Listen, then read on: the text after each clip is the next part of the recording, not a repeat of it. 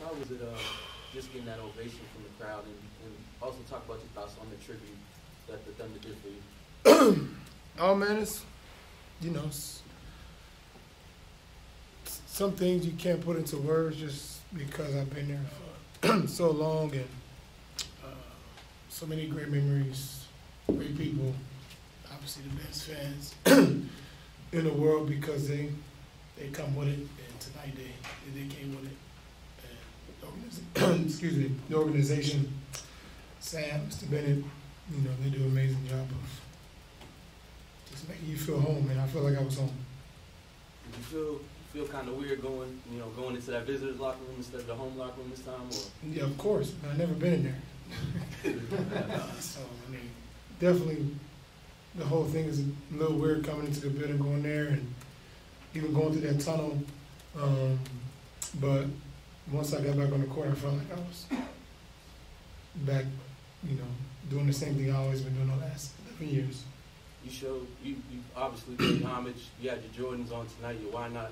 You know, just talk about why you want to do that for the city, and just um show your gratitude. Say it again. You know, why not your zero point threes? Yeah. Just talk about that. You know, paying homage to the city through your sneakers and, and your Um, it started with my, my clothing line. Honestly, that, that was a, a clothing line and a gift. I wanted to do something uh, for the the city, for the people. Um, and me and uh, my team, uh, we came up with uh, zero regrets and something that I um, creatively try to figure out what I can do for the city. And um, I don't regret one thing being here in Oklahoma City. I don't regret um, signing back. I don't regret staying here. I don't regret anything that I did here. I feel like I left everything out on the floor every single night um, and did what I could for the city. Russell, a lot of great players have come here and moved on. They haven't done that kind of video tribute for anybody. What did it mean to you to be the first one? I mean, it's special.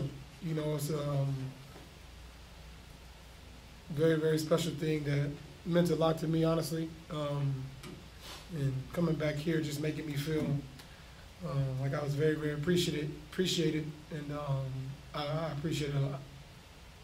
Russ, after the game, you over and Clay Bennett a hug. Uh, I think Aubrey's widow as well. What, what made you decide that's something you wanted to do? Um, Mr. Bennett's done a lot for me and my family. He has done things that uh, go unnoticed. He's always very, very supportive of anything I've ever done for the city.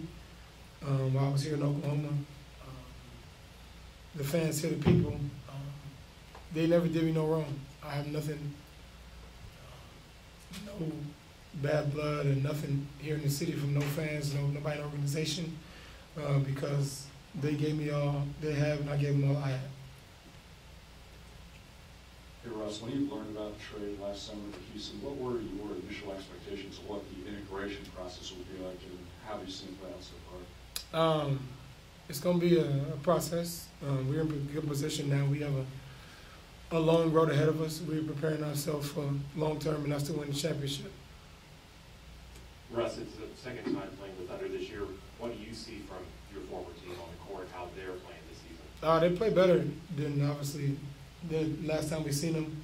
Um, they're playing a better stretch right now, um,